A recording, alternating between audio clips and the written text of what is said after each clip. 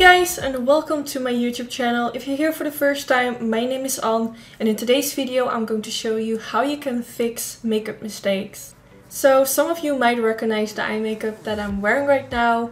Um, today is the day after I filmed my father. That video is already up on my YouTube channel by the time that you're watching this. But I filmed a video with my father where I did one of my eye, uh, creating a cut crease and he had to recreate um, this eye. So this is the finished result and now that I am like done with filming with him, he just left. I realized that um, this is like a really great opportunity for me to film a video where I show how you can fix mistakes. At the beginning when I started creating cut creases I made a lot of mistakes um, but ever since I started YouTube my um, cut crease skills kind of stayed the same so I never like made major mistakes when it came to my cut crease. So now that my father has done my crease, I feel like there's a lot that I can do to make it look better. So I just want to show you like how I can make his eye look look so much better that it looks more like the way I would do it normally.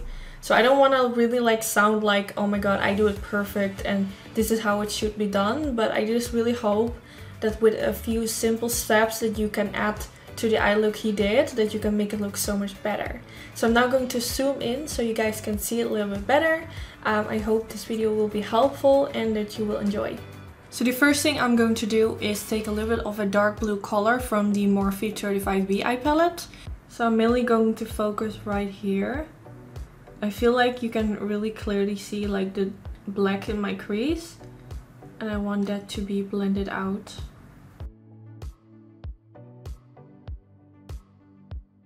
So this already makes a huge difference. The transition is immediately looking a little bit better. So I'm going to apply a little bit more in the inner corner area. Whenever you have problems with like that the black line is too harsh, just use a shade which is slightly lighter and use that to blend it out. So I notice that I do have a lot of fallout. So I have to be careful. Now I'm going to take this palette from Revolution and I'm going to use this light blue color. I'm going to blend that above the crease as well.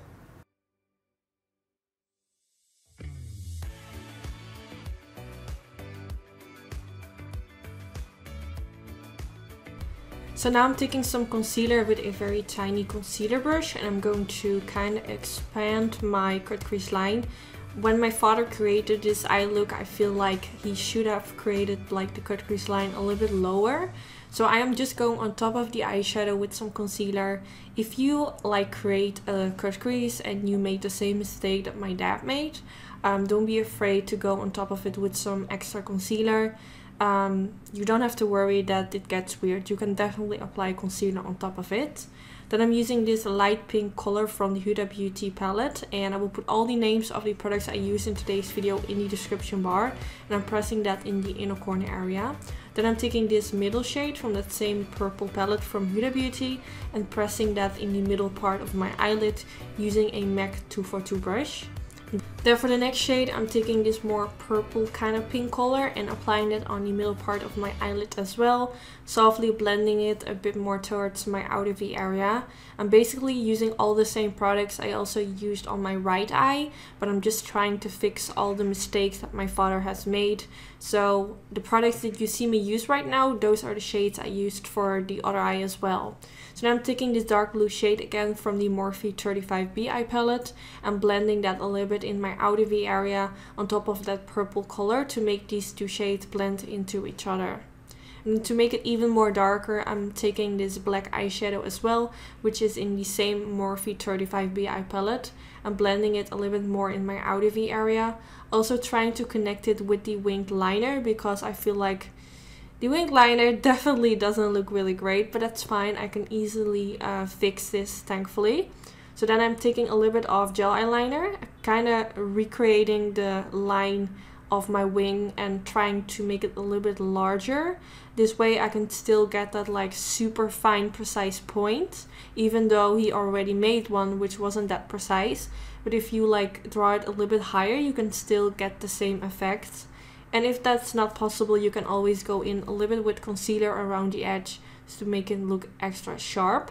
So now I went over all the eyeliner to make it look a little bit more black again because some of the eyeshadow that I used on the eyelid fell on the eyeliner and that makes it look a little bit more ashy.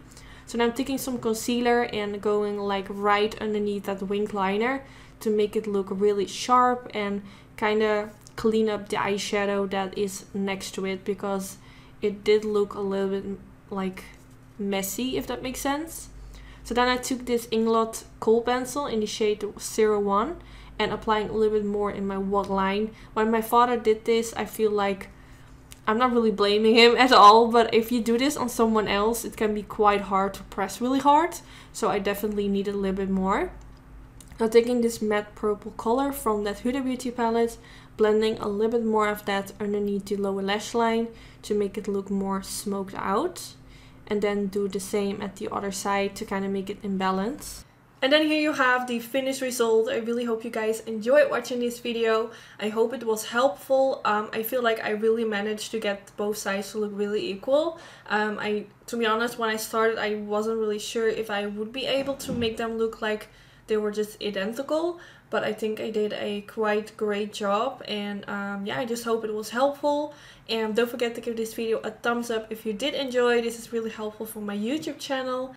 Also, don't forget to check the video where my father does my cut crease. It's very awkward, but yeah, it's a lot of fun. I will put the name, not the name, I will put the link of the video in the description bar uh, so you can check it out.